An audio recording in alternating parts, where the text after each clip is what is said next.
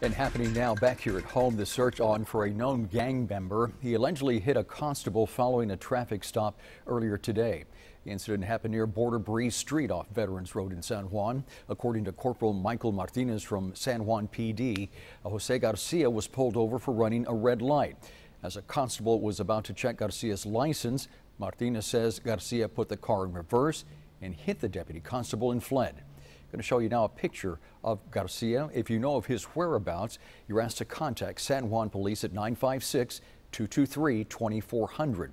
The deputy was treated and released.